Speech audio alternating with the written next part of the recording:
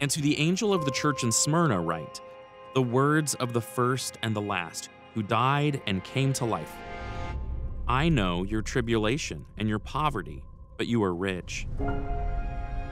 And the slander of those who say that they are Jews and are not, but are a synagogue of Satan. Do not fear what you are about to suffer. Behold, the devil is about to throw some of you into prison that you may be tested, and for ten days you will have tribulation. Be faithful unto death, and I will give you the crown of life. He who has an ear, let him hear what the Spirit says to the churches. The one who conquers will not be hurt by the second death.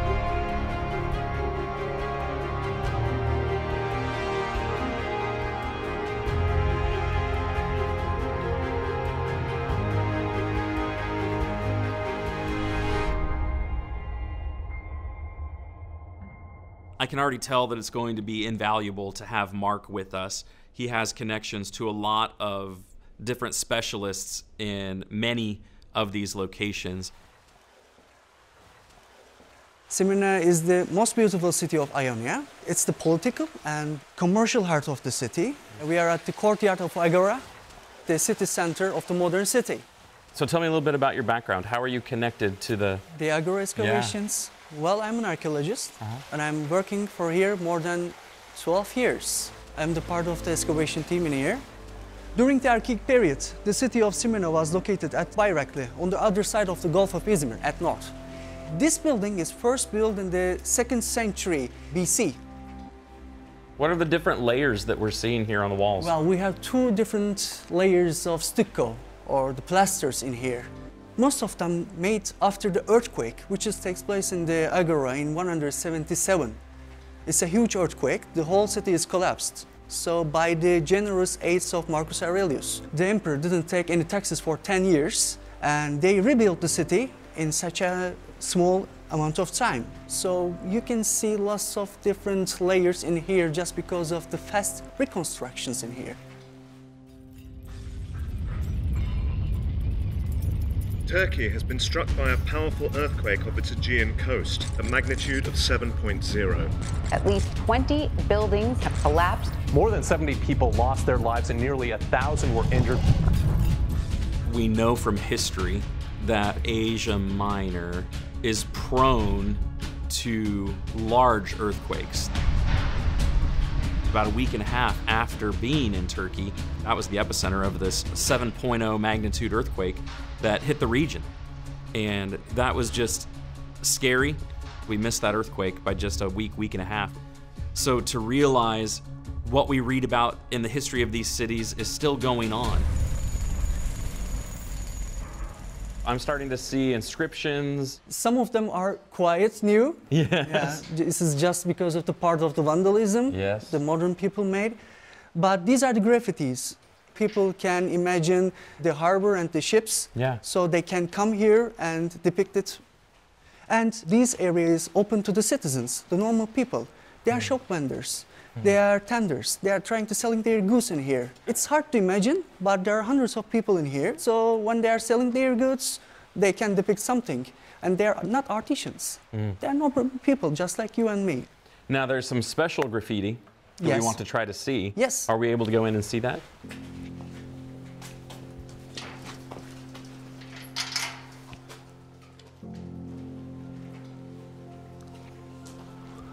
Well, normally our permission is for the inscriptions of the Christianity. Yes. But we can take a general plan in here.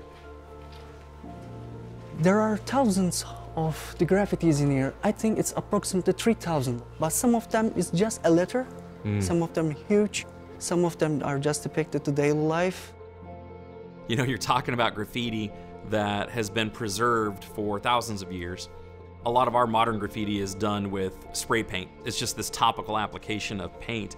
But ancient graffiti was scratched in. So you're talking about an engraving where someone has taken a piece of bone or a piece of stone and they've etched the image into a pillar or the pavement.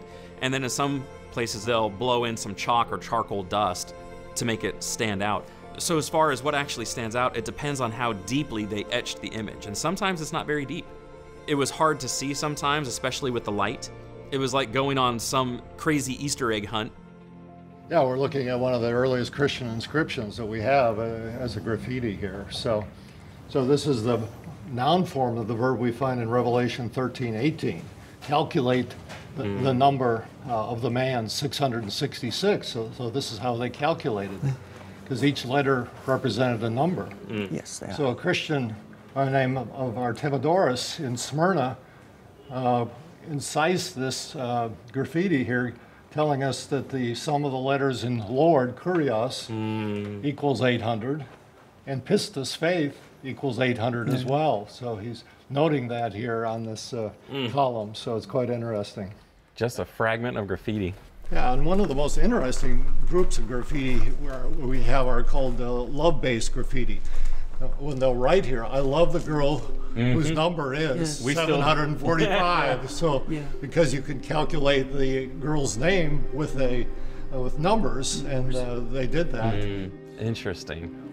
Every culture has that. Yeah. Every culture depicts its life through art. There are times where the graffiti is an image or a symbol that communicates the idea of oppression and persecution and trial, where they're leaving images that would be recognizable to their people, but not necessarily to everyone else.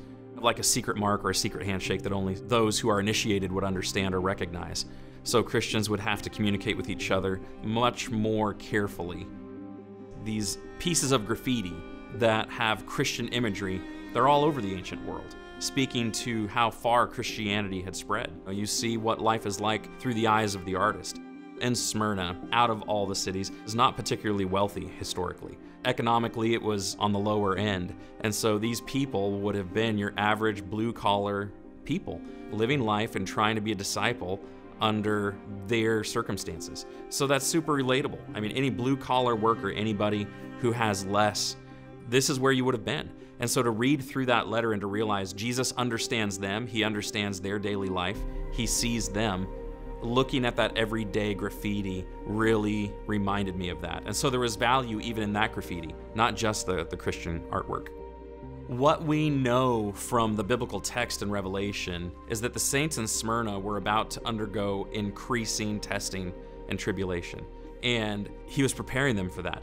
What he tells them to do is to be faithful unto death what he's helping them think through is not all of them are going to live through what they're about to go through. There's not much more that he tells them specifically about their future circumstances. What Jesus is preparing them for is, is external opposition. And that still happens today. That still happens in different places, different countries. Some are more restrictive than others.